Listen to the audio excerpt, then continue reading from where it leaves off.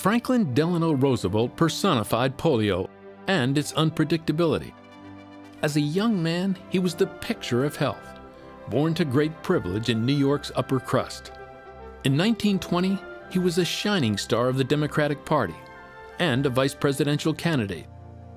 One year later, FDR came down with polio at the relatively advanced age of 39. It's thought he contracted the virus while swimming with a troop of Boy Scouts on a summer vacation. He would forever be paralyzed from the waist down. Most Americans knew Roosevelt had had polio. He didn't hide the fact. What he did hide was how paralyzed he was and how incapacitated he was. For all his pains to downplay his condition for the public, in private, FDR worked nonstop to find relief from polio. In the 1930s and 40s, this was the second most famous address in the United States, the Little White House in Warm Springs, Georgia. Franklin D. Roosevelt built this place to be nearer to the mineral springs he was convinced brought him relief from polio.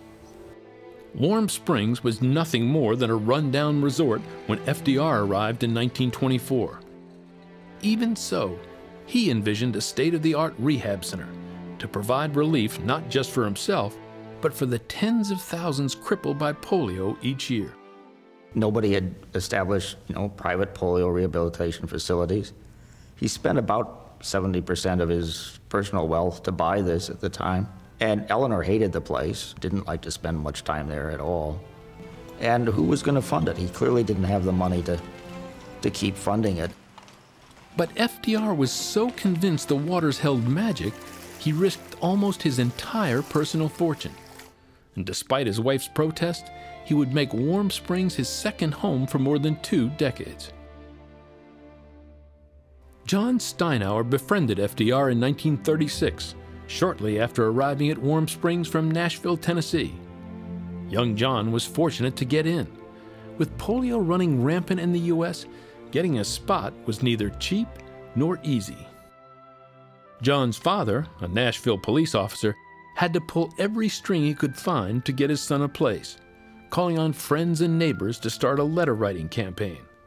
It was $2,000 a year to stay there. My father, being a police officer, he couldn't pay $2,000 for, for me to stay there a year. And through the help of those friends who got me admitted there, I know that's how that $2,000 got paid. By the time John arrived, FDR's dream had become a reality. Warm Springs was fast becoming the place for polio victims to rehabilitate. A state of the art center, complete with dormitories, therapeutic pools, a full rehab hospital. Even the braces and crutches were made in house. For John Steinhauer, Warm Springs may have saved his life. He credits the care and compassion of the staff.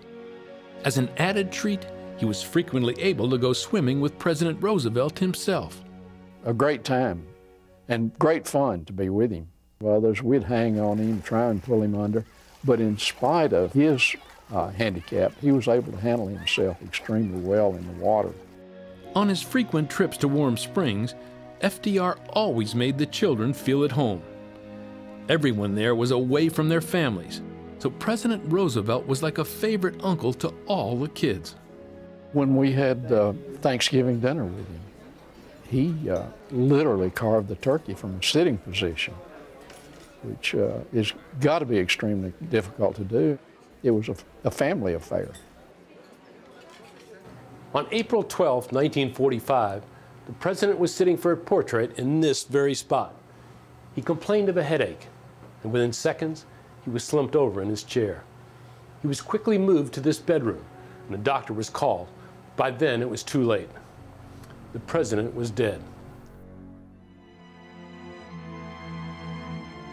That grim news out of Warm Springs hit the country especially hard. Not only was America at war abroad, on its own shores it was also fighting a losing battle against the polio epidemic. The victims of that epidemic were devastated by FDR's passing. They'd lost their champion. And for many, after 13 years in office, Franklin D. Roosevelt was the only president they'd ever known. I went by my high school, they were having a baseball game. And uh, the principal of the high school came down to the baseball game and announced that uh, President Roosevelt had died. And so, it, they, in fact, the game was over when that happened. They just called it off. It, it was like losing a member of the family.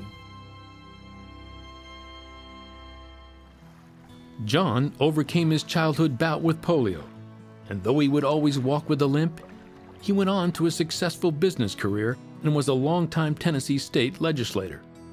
In John's case, the polio virus zeroed in on the nerves and muscles in his leg. Others were far worse off.